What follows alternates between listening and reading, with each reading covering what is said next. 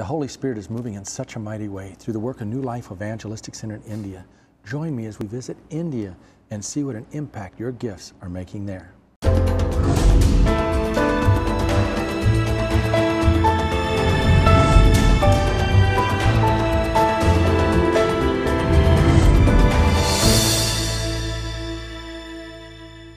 So many lives are being directly touched through the work of the Holy Spirit, moving, yes, in India, through the New Life Evangelistic Center.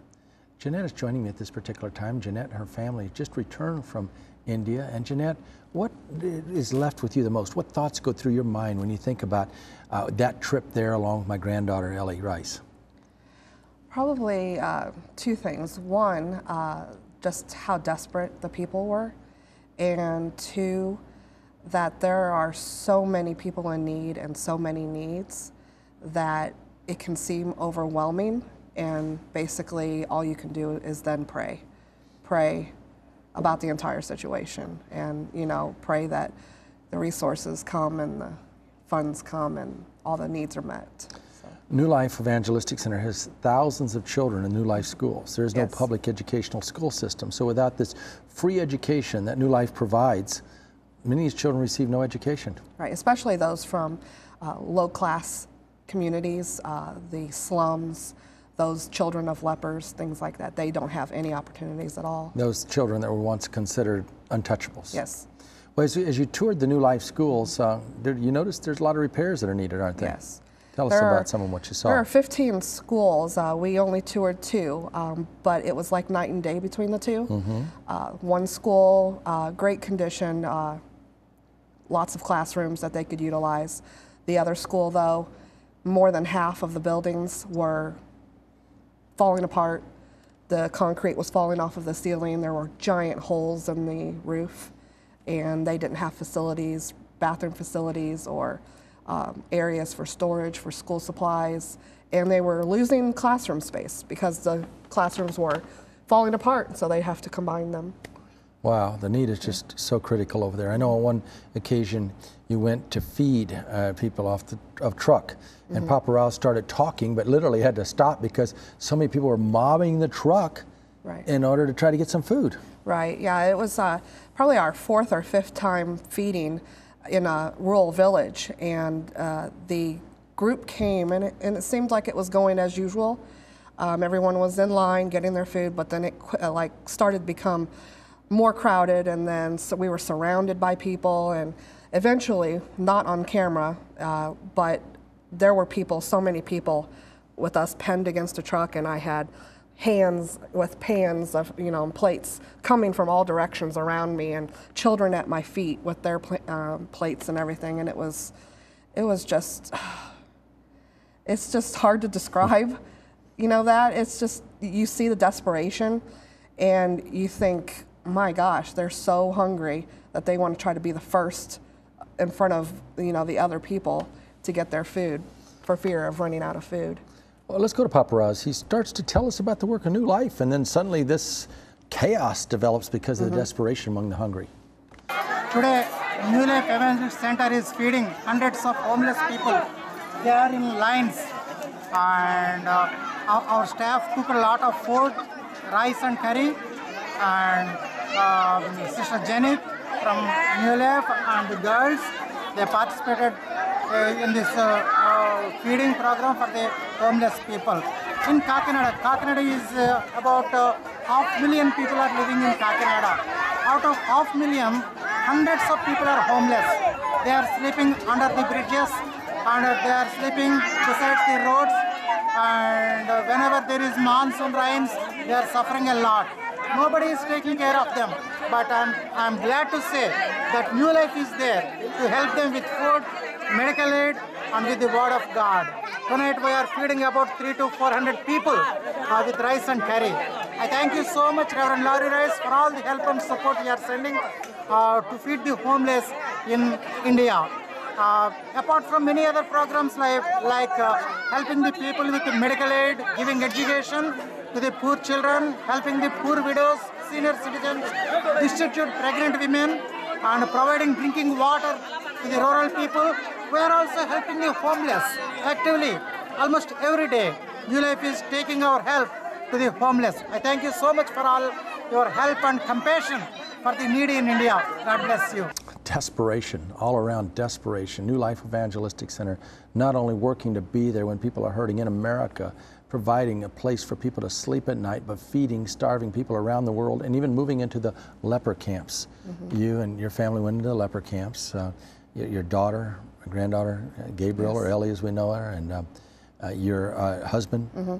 What thoughts went through your mind when you visited the leper camps? I think the word that we all said after we left there was that it was a sobering experience. I mean, you see people who are missing limbs, missing uh, fingers, toes, noses, parts of ears, and you know, although they still have you know a joy, and especially the children that were there and the and the younger people that were there, you just see this this weight on them because they're so I mean, leprosy is a hard thing to describe unless you've seen it yourself. I mean, they, they have this incurable disease that they can't get rid of.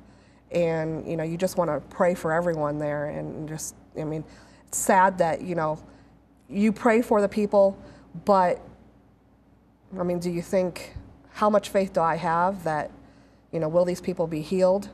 Will these people be, you know, touched in any way when I pray for them? You know, how much of an impact can my visit here have? And New Life Evangelistic Center is a holistic program. It not only feeds the people, it responds to emergency needs. On one occasion, rats were literally coming and nibbling the people's Yes. hands and feet and body parts when they were asleep. They couldn't feel it because they don't feel any pain. Right. And and so he had uh, Papa Rao, New Life team went out and got cats to attack the rats. Mm-hmm. But in every case, not only provide the emergency assistance, but communicate the gospel of Jesus Christ. Um, I want to go to Andrew as he's going to be sharing uh, some at this time. Um, uh, Jeanette's husband, and, and, and sharing the love of Jesus while showing the love of Jesus.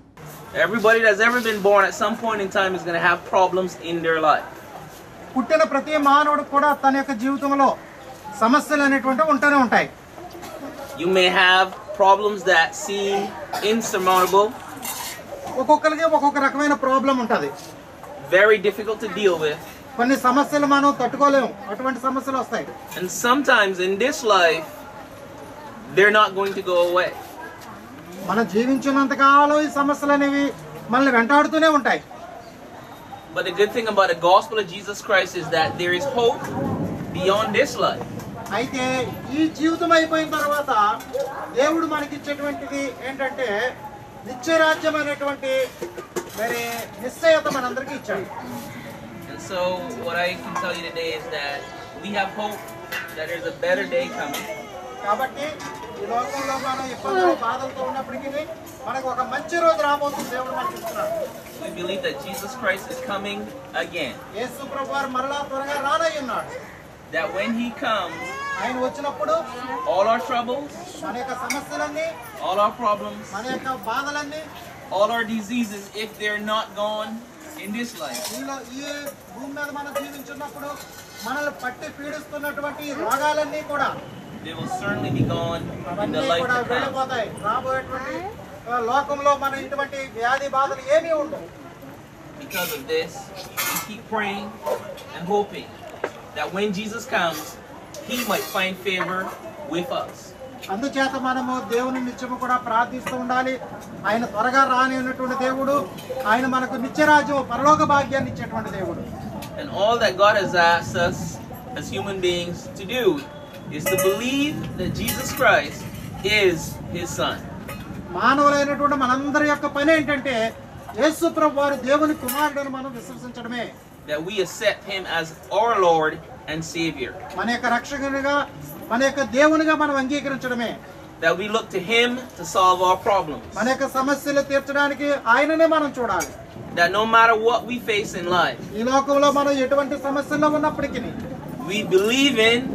and keep our confidence in Jesus Christ.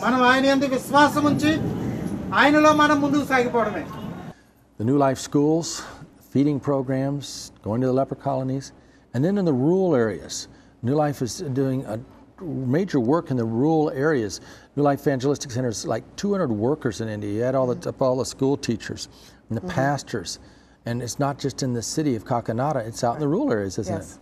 And you have you know semi-rural and then you have the very rural you have people who actually have made a decision to move themselves and their family to the rural areas to pastor uh, the churches there or to help with particular you know needs there. Um, and then you have all of the people who volunteer their time as well to come and bring the medical camps that New Life provides there, um, which is sometimes the only medical care that they may get that year. If not, you know, for many years, if that medical camp wouldn't come there, they would never be able to see a doctor, never have any kind of checkup, never have anything. So the New Life Evangelistic Center doctors and nurses that go out on the teams, and when I've been there, we've even gone to remote islands. We've gone, Yes. we've traveled for many, many miles into Yes. rural areas. Uh, much of the time Drive is for traveling. hours. And uh, the most dangerous thing in India is the driving. It is. It Particularly is. when I drove all night long and suddenly wake up and see headlights and right in front of me, you know, and then, I mean, Yeah. uh, yes. And another thing is your driver doesn't want to run over a cow, or you may have a big mob that's going to be on top of you because you hurt their cow, you know. Yeah. And, uh, and people are everywhere, so the driving is quite a deal going driving out, you know, and they don't have lanes that they pay attention to, and you have to dodge, like you said, the cows and the pigs and the bikes and the motorcycles, and more cow uh, cars are on the road now than there used to be. So you have, you know, more cars taking up space as well. So it gets kind of crowded. And if you have a major accident, uh, how do you get to the hospital? The ambulance service, how especially long when take you're that? out far. A long ways out rural to the area. rural, rural areas. So you made those trips out there. Did those Yes. thoughts occur to you when you were traveling? It, it- yeah, there were some moments, uh, some scary road moments, but uh, uh, as, as crazy as the driving got, we did feel pretty safe with Papa Rao and his son driving, and and uh, we never had any incidents, so it, it went really well. Papa Rao Yelachuri heads up the work of New Life Evangelistic Center. Has been doing that for many, many, many years, uh, and his son's working with him as reaching out through the love of Jesus Christ. Uh, those of you that are Club 24 members, only it's 80 cents a day, $24 a month. You are literally helping the work of New Life Evangelistic Center continue 24 hours a day, seven days a week, not only in Mid America, but also on the other side of the world. So when we're sleeping here, they're awake over there ministering. Let's go to Papa Rao as he tells you about some of New Life's work in the rural areas. In the rural areas, uh, people are suffering a lot due to lack of uh, medical help from anywhere. The doctors, they are always staying in the cities and in towns where all facilities are available. And nobody is willing to go to the uh, villages uh, to serve the poor patients. But the staff of New Life Evangelist Center, the doctor is working with us for the last several years, mainly to conduct uh, health camps in the rural areas. This we are conducting on weekly basis. We go to different villages. Uh, people in the villages, because they are not able to consume uh, uh, correct uh, clean water and they, they do not have clean water to cook their food to take bath and the village ponds are very much polluted so because of that uh, the people in the villages they are often get sickness uh, with the help of New Life Evangelistic Center, we are able to conduct uh, uh, medical health programs like this.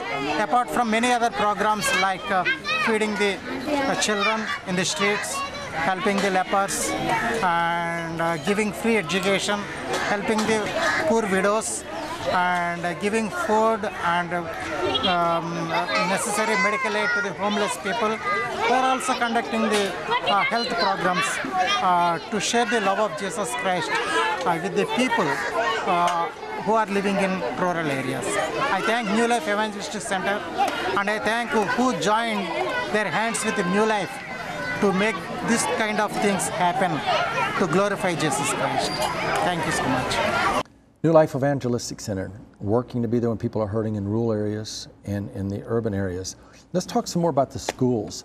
Uh, how many schools you say New Life had? 15. And uh, There are eight in Kakinada in the city Mm-hmm. itself, and there are seven in rural communities. And a lot of the young people went through the schools, come back and help New Life later, Yes. don't they? They do, they do. Many have gone on to become doctors or lawyers or something, and many, like you said, have gone to school and then come back to help. They've become teachers in the schools, or they help in you know in the feeding ministries, or come back and volunteer their time for the medical clinics. Did he mention how many students are in all the schools together? I th- believe I remember it, there's thousands. I think it's about six to seven thousand in all the schools. Yes, and it's uh, exciting to just see how this all unfolds on a daily basis, doesn't it? Yes, yes. It's they they have a great system there. They have uh, lots of lots of things that they provide that you would see at schools here. Uh, for the students, all the all the courses that you would normally take, they actually have computer classes in some of the schools, not in all of them because they only have a few computers that have been donated. And of course, in some of the schools that need repairs, some of those things are getting damaged, even though they're used, you know, and they on a daily basis or on a weekly basis um, because of the repairs, the rain coming in, or this concrete falling. Things are getting damaged as well, so they have to constantly move those out. You sat down and talked at length with Papa Rao about the things the school needs. Yes. And uh, we're going to hear that in just a few moments. But as you reflect on that conversation, uh, we've talked about the need for repairs in the school. Yes. You walk through, we see the school buildings need repairs. These, t- these teachers, uh, they work for just such a minimal amount, don't they? Or nothing at all. Some even volunteer their time. And the students, uh, they just need basic school supplies. But I mean, we're talking about thousands and 1000s of children getting education like that. The need is great, and they take every cent that New Life donates to them and just stretch it to the great Oh, extent, yes. don't they? Yes, such a small amount can make a huge difference. Um, Papa Rao said that $25 can get a student two pieces of uniform clothing for school, uh, books, and the notebooks and pencils, and that can be their supplies for the year. So if you're giving something to Club 24, $24 a It's month, 80 cents a day. you've taken care of you know quite a few children there. And we have to feed all we have to feed all the children that come Yes. to school too, don't we? Yes, and that's another program where he, as the resources are available, he provides a meal for them while they're at school because that may be the only meal they get that day, or they may not have eaten breakfast and they've made it halfway through the day at school, but they can't focus because they're so hungry. And so he wants to be able to provide that meal for them at school. So that's an added expense there as well. Well, let's share part of that conversation that you had with Papa Rao as you're discussing all the things the school needs to help make it work. Yes. Particularly, I want to place some of the very, very important and pressing needs before you for your prayers and support. Particularly, come to the build, this building. This is the building given by the government. This is not uh, our own building. So this is uh, government uh, tried to start some program and unable to keep up that program. Then we approached the government if we can give this building to use, we can uh, help the children with education. The government said yes. But this is about uh, 40, 50 years old building and the, the roof is very much leaking. I will uh, show you. Uh, the roof is leaking and sometimes there are very damaged rooms. Um, the the cement uh, uh, things are falling down because it is very old and the construction is very poor. So that is one of the need. I would like to have a shed to accommodate at least four classrooms, uh, which will cost about fifteen thousand dollars approximately. That is a very pressing need for this school year. The other thing, ma'am, when Reverend Larry Rice came last time to India, I tried to explain to him. The other thing is we are giving education from lower kindergarten to 10th grade. Yes. After that, we don't have school. So these poor children, because of their poverty, because of their uh, um, backwardness, they are unable to go for higher classes. Right. In India, as you know, about 40% of educated people are unemployed. So unemployment is a great problem here. So if the child stop his or her education at the level of 10th, uh, there is no chance for them to get a job. So they need to go for high school and university and they have to take specialization like maybe um, in the field of uh, legal, in the field of nursing or in the field of education uh, or in the field of medical or engineering. So there are different fields, uh, and journalism. So I really want to send these children to such and such fields. Uh, That's my desire. But to go such fields, these children needs to complete high school. Yes. That uh, we call as plus two. So without plus two, they cannot go anywhere. Uh, when Reverend Rice and his grandson, uh, Chris Aaron, came last time, we have discussed about certain program like um, find a sponsor for a child so that the child can go to high school here. Yes. And unfortunately, it is not uh, uh, worked out not, because it involves money. So that is one of the thing, ma'am. I really want. I cannot send all these um, four or five thousand children into uh, high school because very expensive. At least I would like to pick some children, intelligent children from each class, from each school. I want to concentrate on, concentrate on them Yes. so that they can have a good education. Of course, after 10th grade, I'm mm, encouraging these children to go for trade school, like uh, vocational accounting or um, electrification, plumbing. So these are all second grade jobs. Second grade, so he has to use muscle.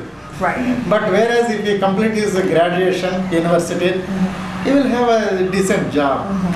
So that's, uh, mainly we need books, stationery. We have stationery uh, notebooks. We need so many. Uh, this is not at all enough. This is the leftover books for, from last year. Okay. So this year we have to purchase uh, this room uh, size of books. Uh, so I'm praying God. So thank you for the support checks you brought this time. So we will pay some of the bills with that money. You see, it's a school, orphanage, all this like a like a circus company. In the circus company, animals Juggling, are always. juggling from here and there, trying to keep everything going. Yes. Yes. But uh, right from 1980, mm, 83 or 82, Reverend Larry Rice is sending money to me $50, $100, $300, $1,000. $2,500, $3,000, $5,000, $10,000, $15,000. It was sometimes special gifts. With all this money, only we are able to do. Because uh, one gentleman uh, said, we need, uh, we need, we need the program sustainable programs. Yes. So it is not possible here. Why? Because, for example, we have a charitable clinic. So all poor, poor people will come. How can that clinic will be sustainable? Sustainability means we need income. Correct.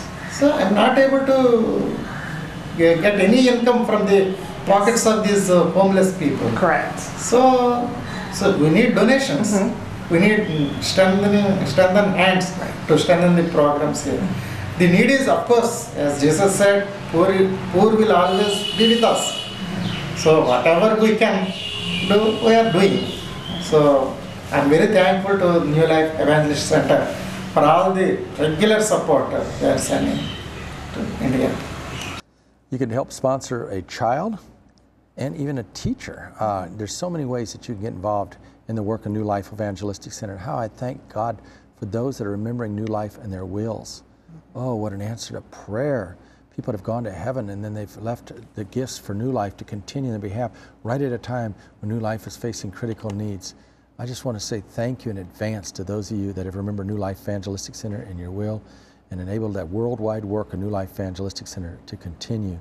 But um, talk to some about the students. Let's talk about the teachers a little bit. Sponsoring a teacher, what's involved in that? Well, they're they're so committed, um, so committed that they even come to work when they aren't even going to get paid. They're not sure when they're going to get paid. Papa I would like to pay a teacher $100 a month. Many times he cannot pay them anything but maybe $60, $50 a month. It's two dollars a day, three dollars Yes, a day. Yes, and sometimes he may go months without ha- being able to pay them, mm. and then make up for it once funds are available. So, if someone could sponsor a teacher, hundred dollars a month, or go in with a family member or a friend, fifty dollars each, and take care of a teacher, hundred dollars a month, that not only impacts the life of that teacher, but it impacts the lives of the students that that teacher teaches. We haven't said anything about the orphanage. Yes. A lot of children at the orphanage come to the school also, don't they? Yes, they all do actually. And uh, many of the people, children who've gone through the orphanage have come back as well to help in various capacities over the years. And one man um, actually is, is one of the lead men there that takes care of the children at the orphanage and runs things at the school. And he came up through that orphanage. So they're, they're all very happy children, very uh, energetic and very happy. Well, what a blessing. I want to go back to another conversation that Jeanette you had with Papa Rao about Yes. sponsoring teachers. yes.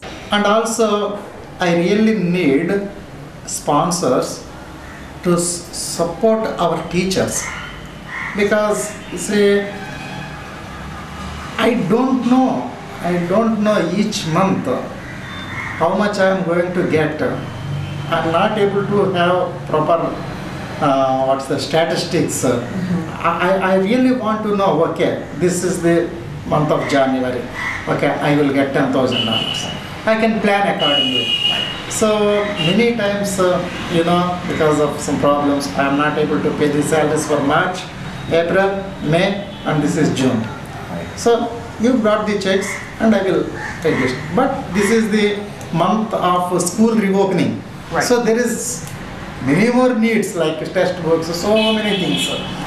Uh, once the school, school was reopened uh, on 12th, uh, you know how busy it is Yes. with all the admissions, uh, giving uh, transfer certificates for the for those who completed their 10th grade. So these are all the things. I, I really need hundred dollars for one teacher, for one teacher, uh, because that is the previously I used to pay forty dollars, fifty dollars, something like one one hundred dollars means it is six thousand rupees. I, I really want to pay six thousand rupees, but right now I am not able to pay that much money. I am only able to pay 3,500, 4,000, 4,500 only. This is very small amount even in India nowadays because the prices of uh, food commodities, the price of uh, the rent for the room they are going to stay, everything is uh, very much increased now.